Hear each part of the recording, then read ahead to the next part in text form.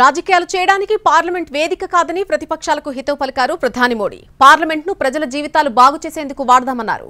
సభలో గందరగోళం వల్ల కొందరు సభ్యులు తమ పాయింట్లను చెప్పలేకపోతున్నారని అన్నారు మోడీ. ఎన్నికలు అయిపోయిన కనుక రాజకీయాల నుంచి పార్టీలు బయటకొచ్చి దేశం కోసం పనిచేయాలని పిలుపునిచ్చారు. ఈసారి ప్రవేశపెట్టబోయే బడ్జెట్ అత్యంత కీలకమైందిగా చెప్పారు ప్రధాని. వికసిత్ భారత్కు ఇది పునాది వేస్తుందని చెప్పారు. कि हम गत जनवरी से लेकर के हम लोगों के पास जितना सामर्थ्य था, उस सामर्थ्य को लेकर के जितनी लड़ाई लड़नी थी, लड़ ली। जनता को जो बात बतानी थी, बता दी।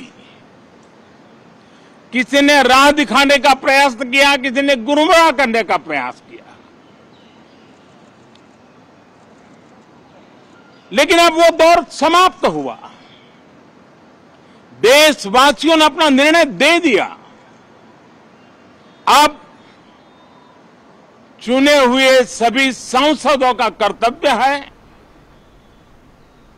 सभी राजनीतिक दलों की विशेष जिम्मेवारी है।